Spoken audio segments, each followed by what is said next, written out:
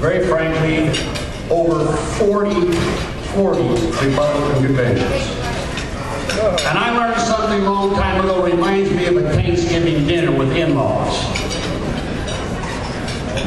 I mean, you ever had Thanksgiving dinner with in-laws? Especially when one in-law doesn't like the son-in-law and the other in-law doesn't like the daughter-in-law, and that's an interesting time. And there's some real serious discussion going on. When it all gets down, though, we're all one family. We all have to work together unless you want Obama man. Unless you want a socialist society. Unless you want the government to tell your kids what to do when they wake up in the morning, what to eat for breakfast, what not to eat for lunch, when they can go to bed, and who they can kiss. Well, I can tell Obama you know he can kiss.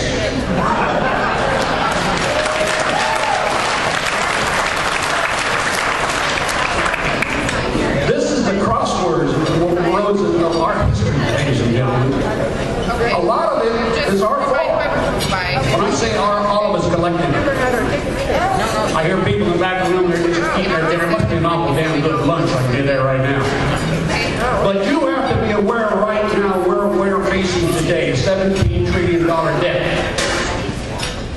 You have to be aware that we cannot employ people today because there is no ability to get over the executive branch because there's 1,700,000 regulatory laws were never voted on by the legislative body or vetted by the people.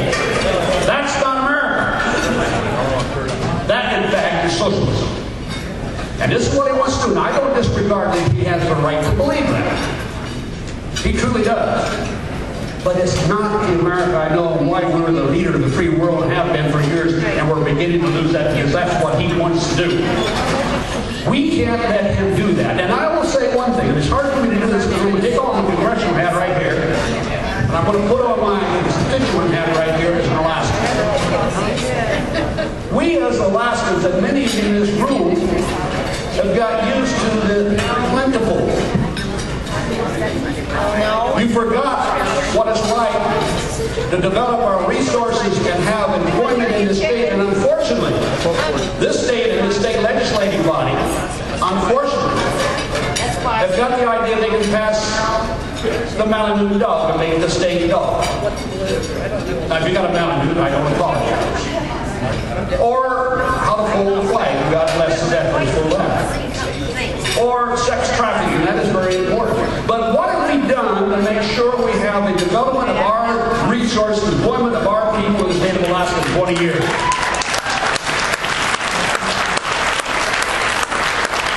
And I, I say, but we're used to saying,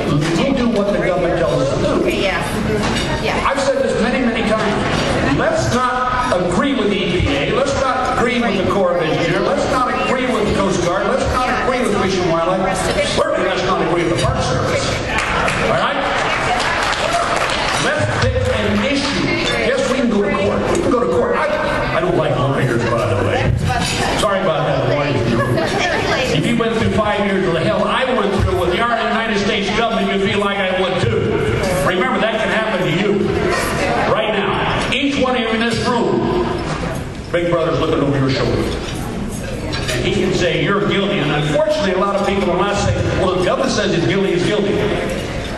That's BS. You're innocent and proven guilty.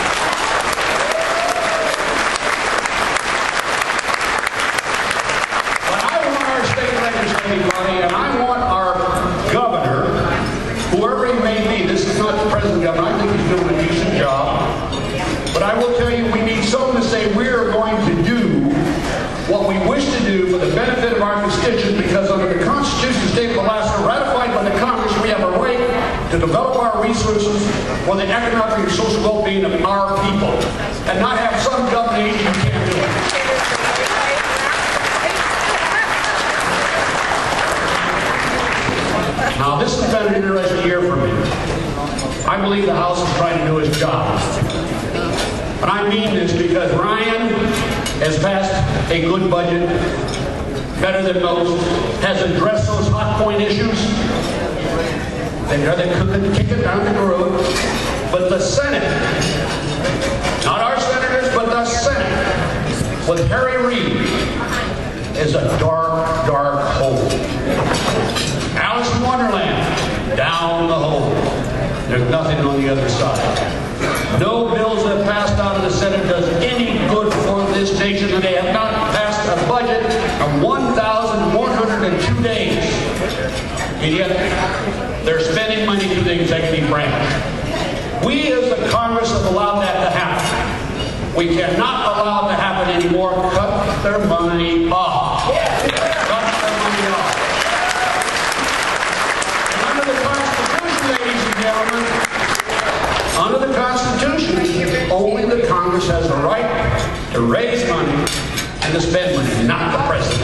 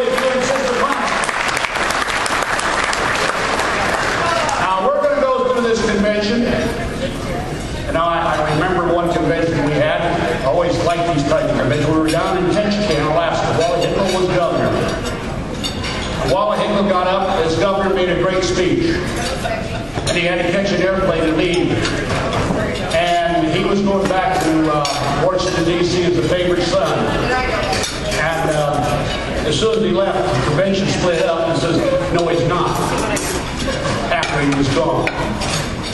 And I will take credit. I stood up and said, this is BS. If you're going to do that, do it in front of his face.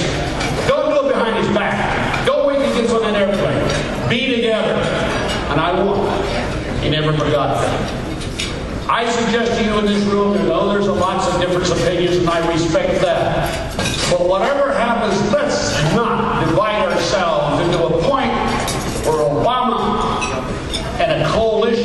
green in June. If I had my way this convention, I'd have a resolution saying if you join a coalition bound in Juneau, you're no longer part of the party.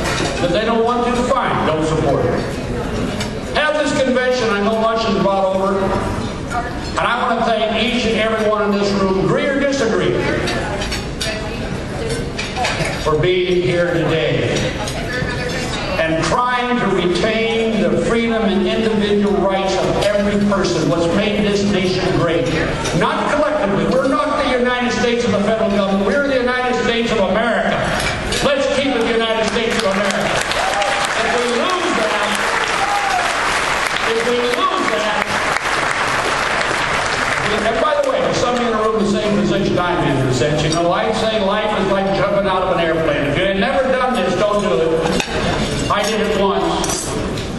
8,000 feet. You know, the first 7,000 feet, piece of cake. that last thousand's a bitch. It goes by real fast. But I'm worried about the young people in this state and this nation. And I want you as Alaskans to start saying, stop saying, oh, we can't because. Say we can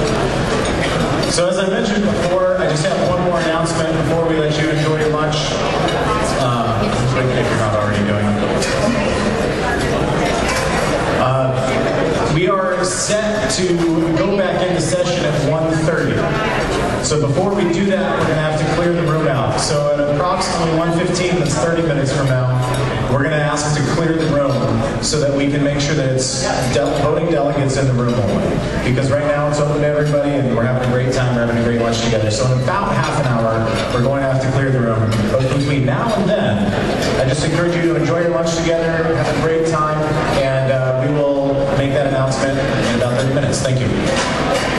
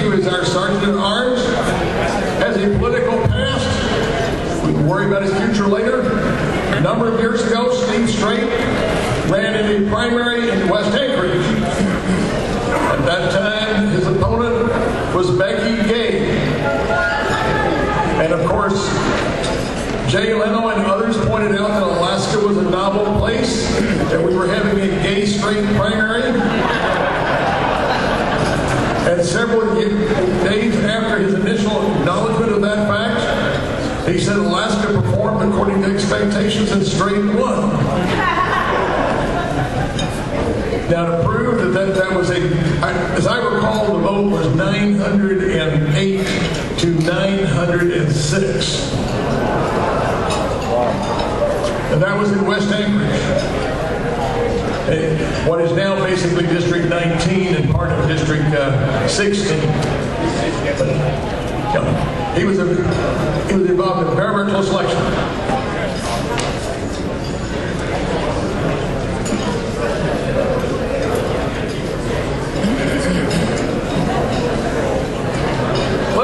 Reconvene to the order of the day. We're in the midst of elections.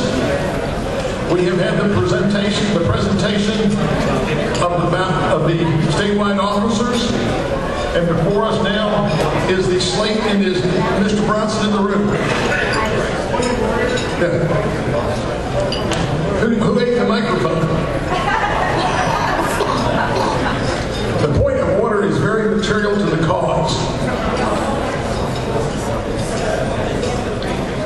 Oh, he's being finished. Okay, it will be, we have a functioning mic over here.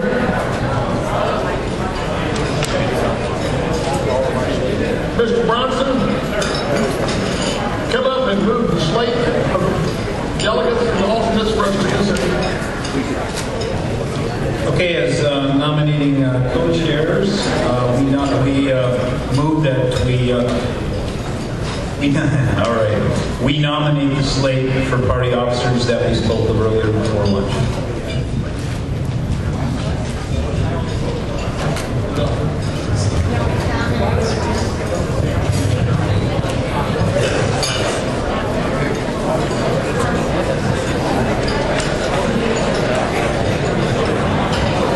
We have the slate of delegates and the alternates before us at this time. Mr. Shannon. Mr. Chairman, Well, what is, What's the order of business right now? okay, What are we, what are we discussing? we're discussing the nominations report, the alternates, the delegates and alternates. The, the slate has been put before the body. For national delegate to the Army. Yes, for national delegates, and it is appropriate now to second that if you so desire. I second the slate. Um, Roman Romanovsky, District 16. Thank you. Mr. Shannon, what do you rise for? I, uh, myself, I I was also going to co-second that, but I'll let my Okay, colleague speak. okay. Uh, I believe in nominations committee, we chose one representative from each of the uh, presidential candidates to represent uh, that candidate in nominations committee. I was chosen by the 11 Ron Paul people that were in nominations to represent Ron Paul in nominations committee.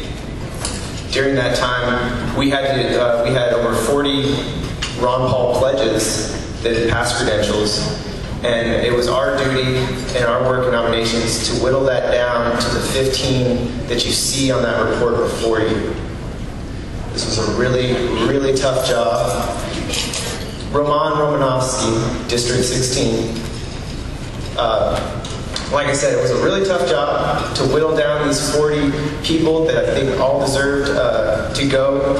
I, you know, I'm a Ron Paul supporter. I wish that we could have had all 40 of them go, but that's not the way the rules work. So we had to whittle it down to our six delegates and our nine alternates and rank them accordingly. Um, I believe that of the 11 people that supported Ron Paul in nominations, we were able to come to a consensus on this slate before you as far as the Ron Paul delegates are concerned. I believe it was fair. It was done according to geographic dispersion. We tried to make sure that it was uh, equal as far as gender. So uh, I believe this is a really fair, balanced slate of Ron Paul delegates. Has my full support. If there's anybody else from the Ron Paul campaign that would like to speak on behalf of this list, I invite them to come forward now. That would be me. I would like to speak. Um, I'm Evan Cutler, uh, organizer of Alaskans for Ron Paul 2012, and we are fully in support of this slate of delegates. Thank you very much.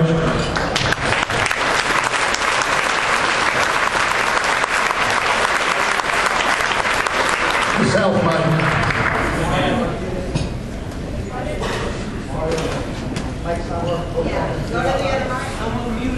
Well, why don't you let Rick speak? Or, okay, go ahead. And why don't you, I'm Rick Woodbeck, District 24. I was the, uh, the representative that was chosen by the people in the committee to speak on behalf of the Santorum campaign.